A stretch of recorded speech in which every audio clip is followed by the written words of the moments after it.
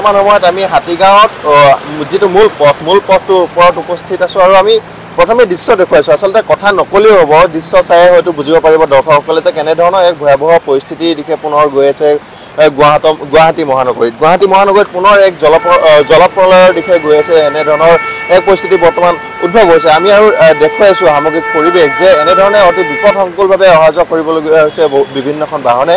আৰু বিভিন্নখন বাহন আচলতে ইয়াতে বিকল হৈ পৰা বা ইয়াতে বন্ধ হৈ পৰা দেখিবলৈ পোৱা গৈছে। এখন ৰিক্সা দেখাইছোঁ। ৰিক্সাখন এনেধৰণে আহি আছিল ৰাস্তাৰ মাজেৰে আৰু এনেধৰণে আচলতে মাজত বহুত বৃহৎ বৃহৎ গাঁত সৃষ্টি হৈছে। দাদা ক'ৰ পৰা আহিছিল?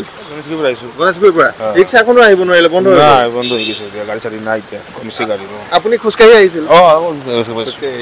এনেধৰণৰ এটা পৰিৱেশ বৰ্তমান গতিকেলৈ অতি ভয়ংকৰ হৈ পৰিছে। ক'ৰ পৰা আহিছিল দাদা? ক'ৰ পৰা আহিছিল গণেশগুৰি। অঁ এই গাঁত হৈছে ন মাজত? অঁ। দিগদাৰ হৈছে চলিবৰ কাৰণে। অঁ দিগদাৰ হৈছে। এনেকে চোন এক্সিডেণ্ট হৈ যোৱাৰ সম্ভাৱনা থাকি আছে নহয় নে? হয় হয়। এই তাতে গাঁথা আছে যে। গাঁতে আছে।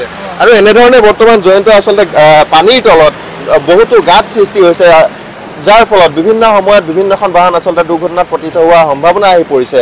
এখন বেৰিকেড দেখুৱাইছোঁ ৰাস্তাৰ মাজত এখন বেৰিকেড আচলতে সেই ঠাইত এটা বৃহৎ গাঁত আছে বুলি ইতিমধ্যে তেওঁলোকে চিনাক্ত কৰিছে যাৰ ফলত তাতে আচলতে বেৰিকেডখন দি চিহ্নিত কৰিবলৈ চেষ্টা কৰিছে যে সেইফালে কোনো ধৰণৰ যান বাহন নাযায় বা কোনো ধৰণৰ আচলতে যি পথচাৰী আছে পথচাৰী আচলতে সেইফালে যাতায়াত নকৰে। বৰ্তমান সময়ত আমি গণেশগুৰিৰ লাষ্ট গেটৰ পৰা আচলতে হাতীগাঁও সংযোগী যিটো মূল পথ সেই মূল পথটোৰ দৃশ্য দেখুৱাই আছোঁ।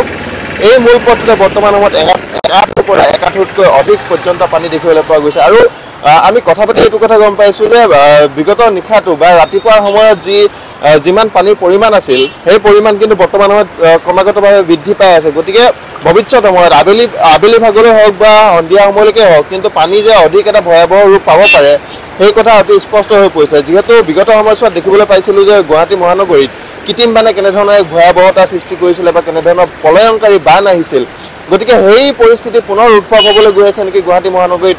বৰ্তমান সময়ত কিন্তু আশংকাত ভোগা ধৰণৰ এটা কথা হৈ পৰিছে।